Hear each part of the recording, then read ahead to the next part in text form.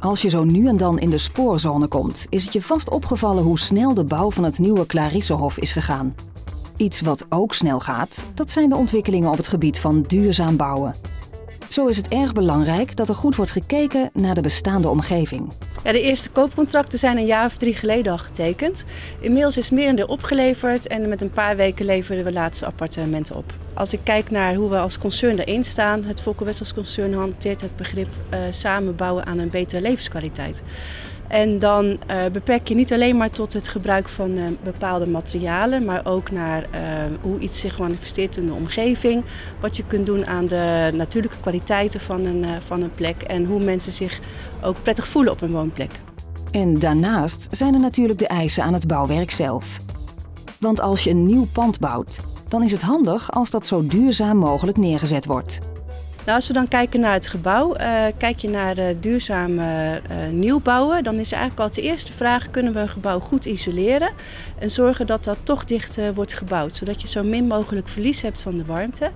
En daar is in dit gebouw heel zorgvuldig naar gekeken. Het is goed geïsoleerd, het is heel luchtdicht gebouwd. We hebben dat ook laten meten onlangs door een ingenieursbureau en dat is heel goed uit de bus gekomen. Um, dus dat, daar is iets waar we in eerste instantie naar kijken. Dus de basis moet, moet goed op orde zijn.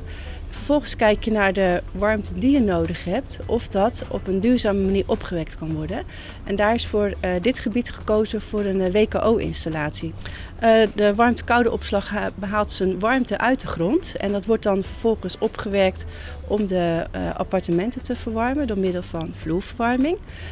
het voordeel daarvan is dat je in de zomer ook weer gebruik kunt maken van koeling. Dus dan werkt die vloerverwarming een soort van omgekeerd en dan wordt je appartement minder warm. Als je naar het Clarissehof kijkt, dan zijn de ramen een behoorlijke aandachtstrekker. Ze zien er erg monumentaal uit, maar zijn natuurlijk helemaal nieuw. Toch was het niet zo lastig om deze vorm voor elkaar te krijgen. Dat lijkt misschien zo, dat is eigenlijk heel slim gedetailleerd. De, de buitenkanten zijn gemaakt van een soort uh, bogen van uh, beton, maar daarachter zit gewoon een vierkante raam met uh, HR++ glas. Het nadenken over duurzaamheid beperkt zich bij het Clarissehof niet tot het heden en de eerstvolgende jaren.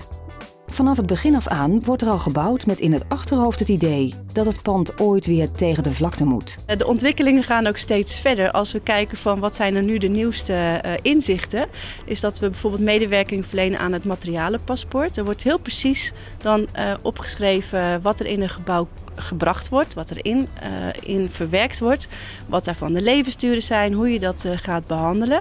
En dan mocht in de toekomst het nodig zijn om dat gebouw te slopen, weet je ook wat voor waardevolle materialen erin toegepast zijn.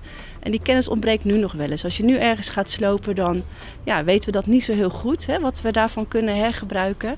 En dat gaan we nu langzamerhand steeds beter opbouwen, zodat we ook uh, een beter oog hebben voor de waarde in de toekomst.